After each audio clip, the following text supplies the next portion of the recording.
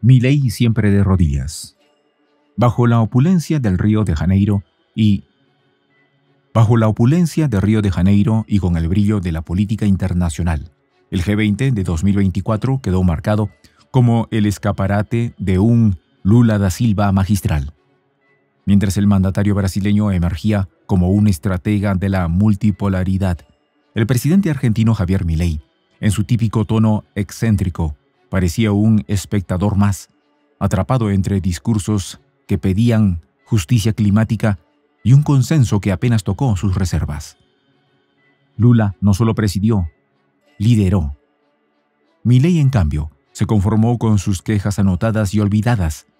Esta cumbre no fue solo un triunfo brasileño, sino un recordatorio de que los discursos grandilocuentes, sin sustancia, se desmoronan frente a líderes decididos a escribir su propio capítulo global. Los detalles a continuación. ¿Quieres saber cómo se puede fundar la patria grande? Mira el final del video. El G20 de Luna. Un escenario de contrastes y alianzas. En la vibrante Río de Janeiro, donde la samba y la diplomacia bailaron al mismo compás, Lula da Silva marcó un hito con su liderazgo durante la cumbre del G20 de 2024. Entre el calor del trópico y el rigor de las discusiones políticas, el presidente brasileño consolidó su estatura internacional al presentar la Alianza Global contra el Hambre y la Pobreza, una iniciativa respaldada por líderes de todos los rincones del mundo. Al mismo tiempo, la dinámica entre Lula y su homólogo argentino Javier Milei evidenció una distancia que pocos dejaron de notar. Con una presencia arrolladora, Lula utilizó el foro para destacar las desigualdades económicas que aquejan al planeta. No podemos aceptar que 800 millones de personas sufran hambre en un mundo con capacidad para alimentar al doble de su población, proclamó en su intervención inaugural. Sus palabras se resonaron con elocuencia, apoyadas por cifras alarmantes. En 2023, la Organización de las Naciones Unidas para la Alimentación y la Agricultura, FAO, reportó un aumento del 6% en la inseguridad alimentaria global, impulsada por conflictos bélicos y el cambio climático. La cumbre también fue escenario de debates sobre la reforma del sistema financiero internacional, una bandera que Lula ondea desde su regreso al poder. El mandatario defendió la necesidad de diversificar los mecanismos de financiamiento para las economías emergentes, subrayando que los países del hemisferio sur deben tener mayor protagonismo en instituciones como el Fondo Monetario Internacional y el Banco Mundial. Pero no todo fueron sonrisas y acuerdos. La relación entre Lula y Javier Milei, el presidente argentino, pareció estar congelada desde el principio, mientras que Lula aboga por una diplomacia multilateral y soluciones colectivas. Milei mantenía un perfil más individualista, enfocado en políticas de mercado que lo distancian de sus pares progresistas. Fuentes diplomáticas señalaron que la tensión era palpable en los encuentros bilaterales, aunque ambos líderes evitaron confrontaciones públicas. Entre las grandes sorpresas del evento, destacó la presencia de figuras clave como Xi Jinping, quien reforzó su compromiso con la transición energética global. Lula, por su parte, no perdió oportunidad para enfatizar el papel de Brasil como potencia verde, destacando que el país alberga el 60% de la Amazonía y cuenta con y cuenta con una de las matrices energéticas más limpias del mundo. La presencia de la Alianza Global contra el Hambre y la Pobreza marcó el clímax de la cumbre. Con el apoyo de líderes como Narendra Modi y Olaf Scholz, la iniciativa busca movilizar 100 mil millones de dólares en los próximos cinco años para financiar proyectos de seguridad alimentaria y desarrollo sostenible. Este fondo será administrado por un comité internacional con Brasil como uno de los principales coordinadores. Esta alianza no es solo un compromiso político, es una deuda moral con los más vulnerables, afirmó Lula visiblemente emocionado. En los meses previos al G20 de Río de Janeiro, la figura de Javier Milei comenzó a perfilarse como una anomalía en el escenario internacional. Su llegada al poder, impulsada por un discurso que desafiaba a la política tradicional, lo posicionó como una rareza entre líderes que buscan soluciones colectivas a problemas globales. Sin embargo, el impacto de sus ideas libertarias parece estar limitado a su audiencia local, ya que sus interacciones en eventos internacionales han evidenciado una desconexión con las prioridades y dinámicas globales. El primer indicio de esta soledad quedó expuesto durante su encuentro con el FMI tras asumir la presidencia. Aunque Milei propuso renegociar los términos de la deuda externa argentina, su insistencia en una dolarización de la economía argentina fue recibida con escepticismo. Analistas internacionales señalaron que, lejos de ser una solución viable, la dolarización era vista como una medida radical que podría agravar las desigualdades internas y generar incertidumbre en los mercados globales. Por otro lado, su relación con Brasil, el principal socio comercial de Argentina, se ha deteriorado. Lula, con su enfoque multilateralista, ha evitado confrontaciones abiertas, pero el contraste entre ambos líderes es innegable. Mientras el mandatario brasileño promueve políticas de integración regional como el fortalecimiento del Mercosur, Milei ha manifestado su intención de retirarse del bloque, calificándolo como una traba al libre comercio. En encuentros más amplios como la reciente cumbre de la CELAC-UE, Milei fue percibido como una figura distante. Durante las discusiones sobre el cambio climático, sus comentarios minimizaron la relevancia de las energías renovables, una posición que lo aisló de líderes que buscan reducir las emisiones de carbono. Por el contrario, Lula se destacó a liderar un llamado a la cooperación internacional para proteger la Amazonía y garantizar el cumplimiento de los acuerdos de París. Otro ejemplo claro fue su reciente visita a Washington, donde buscaba acercar posiciones con la administración Biden. Sin embargo, las reuniones se enfocaron más en cuestiones de seguridad y comercio que en establecer un entendimiento profundo.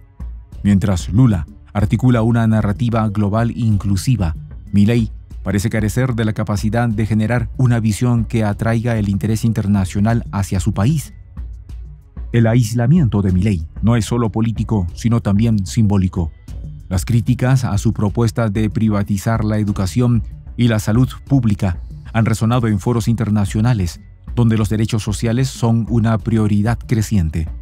En contraste, Lula con su historial de reducción de la pobreza en Brasil, ha sido celebrado como un líder comprometido con la justicia social.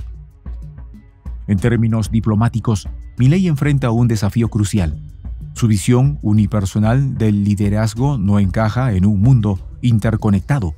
Mientras Lula construye puentes y alianzas, Milei camina por un sendero que lo aleja de los principales debates globales, dejando a Argentina más aislada en un momento donde la cooperación internacional es esencial. El contraste es evidente. Mientras Lula emerge como un líder consolidado con influencia global, Milei lucha por encontrar un lugar en la mesa. En un mundo donde los desafíos trascienden fronteras, la capacidad de construir alianzas parece ser la clave, una lección que Milei aún está por aprender. El lanzamiento de la Alianza Global contra el Hambre y la Pobreza durante la cumbre del G20 en Río de Janeiro no solo marcó un hito político para Brasil, sino que evidenció la capacidad de Lula da Silva para articular respuestas concretas a problemas globales. En un foro que enfrenta divisiones geopolíticas profundas, Lula emergió como un líder capaz de tender puentes y dirigir la atención hacia los desafíos más urgentes de la humanidad la alianza respaldada por potencias como India, China y la Unión Europea no se limita a hacer una declaración de intenciones. Promete movilizar recursos concretos y generar compromisos multilaterales para reducir el hambre que afecta a más de 700 millones de personas en el mundo, según cifras de la FAO. Lula dejó claro que este esfuerzo no busca protagonismo, sino un liderazgo compartido que aborde la desigualdad estructural en los países más vulnerables. La escena en Río dejó una lección clara.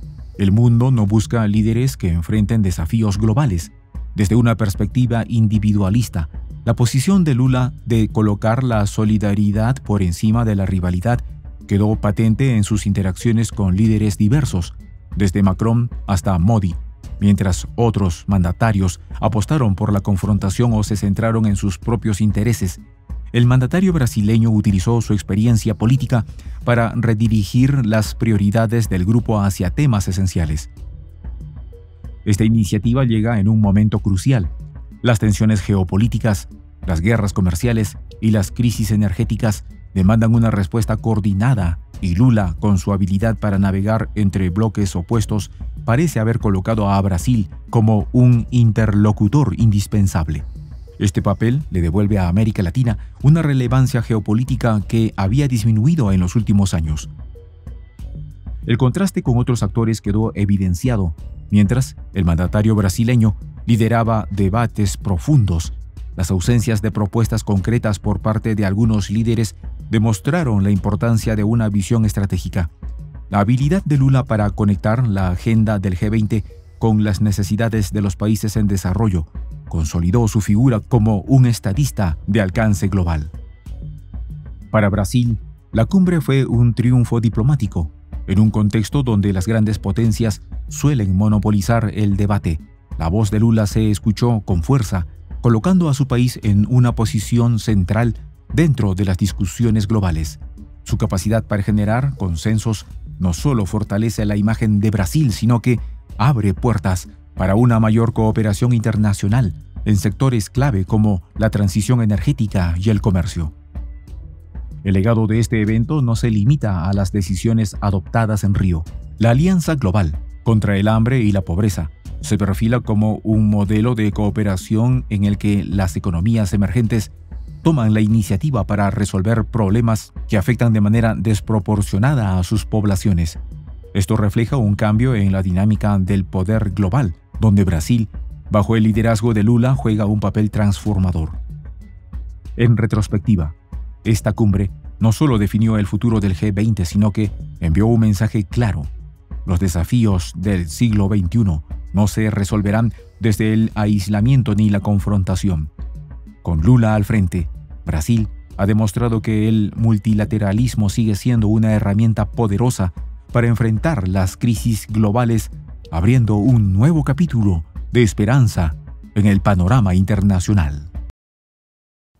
En esta comunidad nos juntamos para, por ejemplo, conversar, interactuar, tener puntos de idea distintos, pero por ejemplo también tenemos un club de lectura donde leemos fragmentos de libros que consideramos que son importantes para crecer intelectualmente. También, por ejemplo, hacemos algo como lo que hace nuestro amigo el jefazo ahí en Bolivia. Les cuento la experiencia que me parece fascinante. Él tiene un restaurante ahí en Bolivia. Y en ese restaurante, ahí viene lo que tiene, un televisor.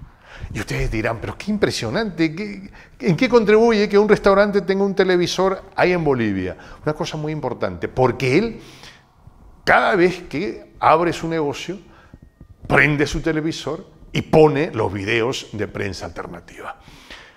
Con eso, todos los días, poco a poco, con pasos muy concretos, él hace que toda la gente que vaya a su restaurante vaya insumiendo el concepto de la patria grande. Y así, pasito a pasito, estamos construyendo la patria grande. Son esos pasos pequeños pero concretos que hacen posible que el proceso de la construcción de la patria grande sea algo que ya comenzó, un hecho dinámico que no tiene retorno en la historia. Y de verdad a nosotros nos gustaría que tú seas parte de esa propuesta. ¿Qué tienes que hacer? Muy simple, dale clic en el botón unirse. De hecho, al hacerlo también contribuirás con una pequeña cantidad de dinero que permitirá que Prensa Alternativa produzca más y mejores videos. De verdad que te esperamos. La patria grande se va a construir cuando tú y yo y toda la gente de buena voluntad de América Latina y el Caribe comencemos a ser comunidad ¿Cómo lo logramos? Interconectándonos todas las personas de buena voluntad que vivimos en América Latina y el Caribe. Y tienes una oportunidad de hacerlo. uniéndote a nuestra comunidad. Puedes hacerlo haciendo clic en el botón unirse que está en la parte de abajo. Soy el J, Juan José del Castillo, director del canal Prensa Alternativa. Si quieres ser parte de la comunidad de la Patria Grande, suscríbete a nuestro canal. Si es que quieres que te lleguen las notificaciones cada vez que subimos un video, activa la campanita. Si quieres apoyar a nuestro canal económicamente, puedes hacerlo a través de PayPal. El enlace está en la descripción del video. A nombre del equipo de prensa alternativa, me despido con esta expresión en el quechua milenario, Tupananchis Kama, traducción es hasta volvernos a encontrar.